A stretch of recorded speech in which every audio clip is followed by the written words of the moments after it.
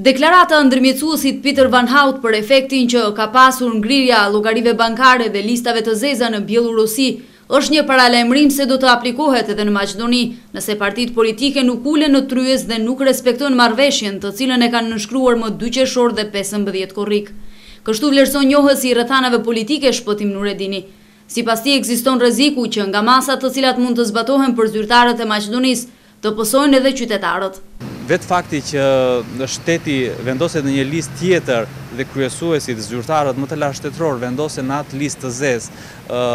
nënkupton edhe sanksione të tërthorta, megjithatë të ndjeshme edhe për qytetarët e Maqedonisë. Kështu që Bashkimi Europian dhe faktori ndërkombëtar është përpjekur në maksimum deri tani që politikisht dhe në aspektin diplomatik, të ndihmojë Maqedoninë të kthehet në kursin evropian, por siç duket në Maqedoni më janë krijuar struktura të caktuara, subjekte politike që po vendosin për diçka tjetër. Nuredini vlerëson se nëse nuk arrihet pajtim brenda javës, e gjithë marrëveshja do të shpallet e pavlefshme dhe pas asaj do të pasojë edhe kthimi prapa i ligjeve që u miratuan pas marrëveshjes.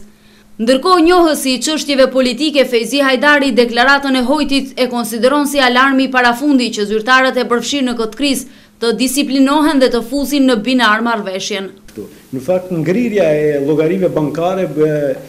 tani është një praktikë e cila është është aplikuar ndaj ndaj krerëve të shteteve në më së shumti nëpër shtetet postkomuniste dhe zakonisht nëpër shtetet diktatoriale atje ku ku krerët e shtetit,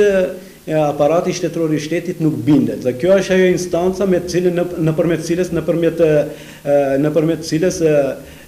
faktori ndërkombëtar bën përpjekjet maksimale për t'i disiplinuar respektivisht për ta vënë qeverinë iks të shtetit iks në binar binar të shëndoshë. Ndërmjetësuesi Peter Vanhoutte dje në një brifing me gazetarët ka deklaruar se Bashkimi Europian dhe SHBA-të do të reagojnë në rast se partitë politike në Maqedoni nuk do të dakordohen për zbatimin e marrëveshjes së arritur. Ndërsa, ka kujtuar rastin e Bjellorusisë, ku sipas Hautit, ngrirja e llogarive bankare dhe listat e zeza janë treguar mjaft efektive.